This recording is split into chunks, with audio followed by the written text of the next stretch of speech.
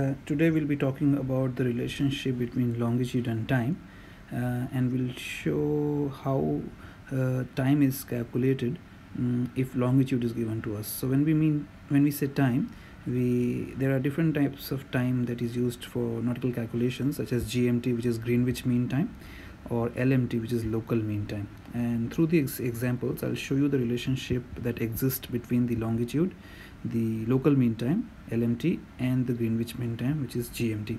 Uh, we will also include the zone and the zone time. Uh, so before we start um, I should probably show you what is the relationship between longitude and time conceptually alright so for nautical and navigation what is it that we use so uh, what we have in uh, for for coastal navigation that we use or for for any type of maritime navigation uh, or timekeeping what we use is this concept here. So we have uh, the longitude of uh, sorry my apologies here. Let's go down here. And what we have here is firstly the 000 degrees longitude right? And this is called the prime meridian alright this is the reference point for all longitudes. Just like you have a reference point of the equator for all the latitudes you also need a reference longitude uh, which is the 000 000 degrees longitude which is called the prime meridian.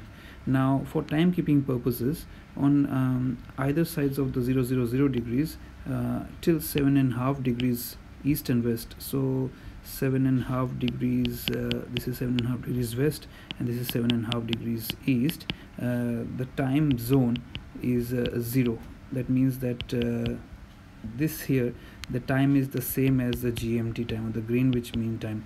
Um, uh, so countries like UK and all they are maintaining a Greenwich Mean Time which is uh, the GMT time. And uh, uh, seven and a half degrees on either side of the prime meridian um, all the countries lying in this zone will maintain the same Greenwich Mean Time. All right uh, going out from seven and a half degrees east and west every 15 degrees. So for example if I add another 15 degrees to this uh, 15 degrees of longitude if I add uh, this becomes 22 and a half degrees right east. And then if I add another 15 degrees and keep going like that 15 degrees of longitude you, you can see that this becomes 37 and a half degrees. So uh, as we go east from the Greenwich mean uh, Greenwich meridian or the prime meridian we start adding one hour uh, to the Greenwich Mean Time. So all the countries lying in this zone between seven seven and a half degrees and 22 point half degrees uh, will have or maintain a time of uh, Greenwich plus one hour. Uh, and uh, as I go further east I'll keep adding the hour to it. Uh, and so this becomes not one but rather plus 2 from Greenwich. So uh, all the countries lying between 22 and half degrees to 37 and half degrees east uh, will maintain a time of GMT uh, plus 2 hours. So as you keep going east by 15 degrees all the way to 180 degrees this is what is happening so at any point of time the maximum time that you can go up to here is gmt plus 12 hours on the east side right similarly on the west side we have 22 and a half degrees west and then we have 37 and half degrees west. Um, so as you keep going west you will subtract one hour from the GMT and then if you go between 22 and a half degrees then you subtract two hours from the GMT two hours from GMT minus one hour from GMT so all these countries lying between seven and a half degrees west to 22 and half degrees west will be behind GMT by uh, one hour. So you will subtract one hour from the GMT time. Uh, and again, as you keep going west, this is what you keep doing.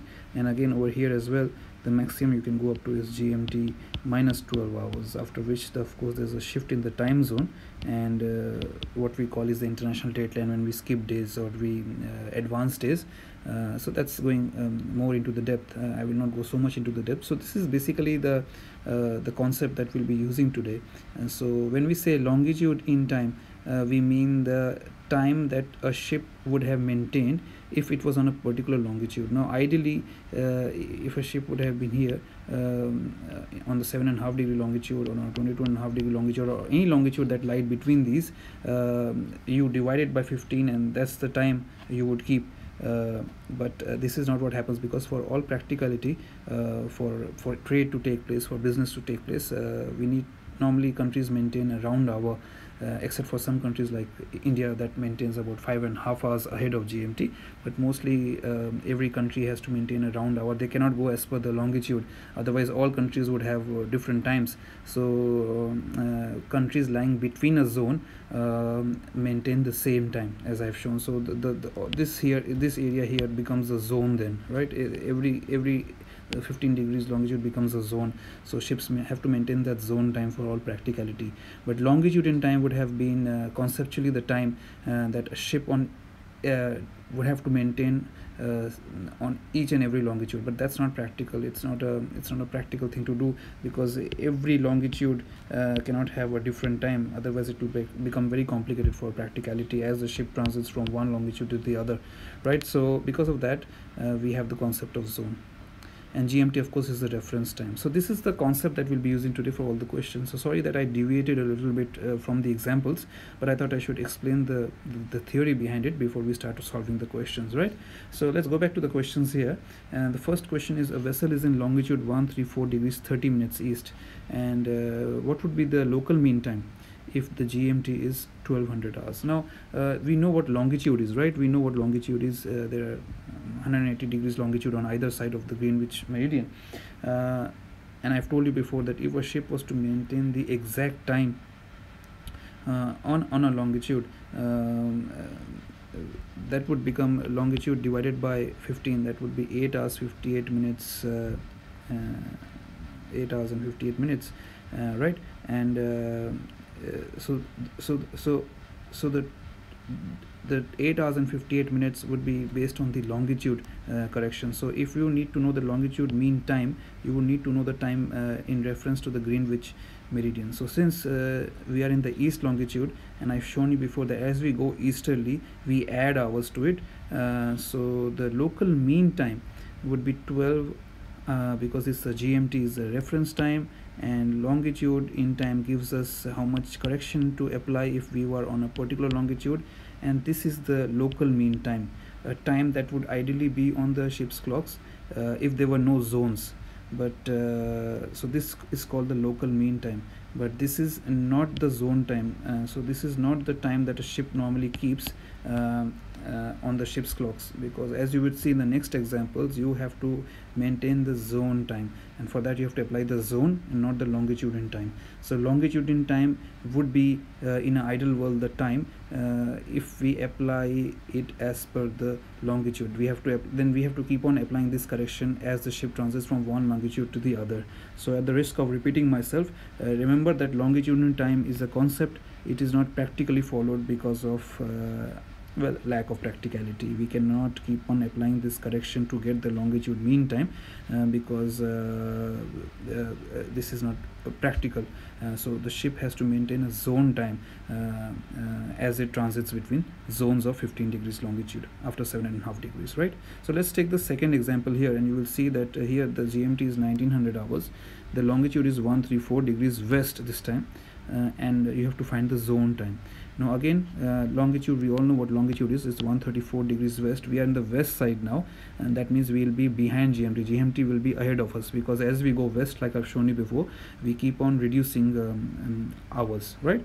So to convert uh, longitude into lit all i have to do is basically divide longitude um, by 15 and this should give you 8 hours and 56 minutes. Now this is the correction that you would have to apply ideally to the in a perfect world to the GMT time to get LMT right? But like I said this is not the practical time that we use on the ship's clocks right? So what we use is the zone time.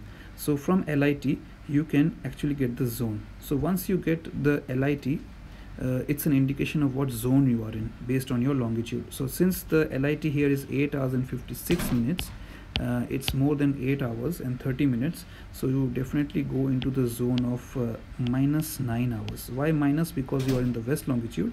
If you were in the east longitude you would be plus 9 hours in this case but you are in the west longitude so you're in minus 9 hours. Uh, if it was 8 hours and 28 minutes or 29 minutes uh, you would be in minus 8 hours zone of uh, the zone time right? So remember that the longitude in time or the lit gives you an indication of the zone and if you look at the minutes if it's more than 30 minutes you round it off to the next hour. If it's less than 30 minutes you keep it to the uh, the original hour. All right? Like the example i've shown you. So once you get the zone because you're in the west zone you will subtract hours from the gmt because gmt is ahead of the uh, zone west zone uh, the, all the longitudes. And that's how you get 10 hours as the zone time. Once you subtract 9 from 19 right? Let's take the final example here where a vessel is in longitude 1 110 degrees 15 minutes east. You are in east longitude so the vessel will be ahead of gmt so the, uh, you will be adding hours as you go to the east side right? Uh, and uh, what we have to do is find the gmt if the lmt is 1000 hours right? So the lmt is given to us as 1000 hours and lit we can find by dividing the longitude by 15 and in this case it's a pretty straightforward question. So because lit east uh, gmt will be least so gmt will be behind the local mean time right? And that's the answer here. So na naturally uh, local mean time you subtract the longitude in time to get the gmt all right so remember that uh, as we go east from long uh, the gmt you add hours. As you go west from gmt you subtract hours. Uh, lit is a correction that you apply to the gmt to get the lmt but lmt will keep on changing with different longitudes. Remember that uh, so you cannot have lmt for practicality. Um, LMT would be the time in an ideal world, in a perfect world, but it's not like that. For all practicality, you have to maintain what you know is the zone time, uh, and which depends on the zone of the area, and the zone uh, is indicated by the LIT. All right, so uh, as we have done in the previous example. So I hope this concept is clear to you. Uh, if it's not, then go through this video again. I'm happy to receive any questions in the comments. Uh, so thanks, guys. Uh, catch you in another.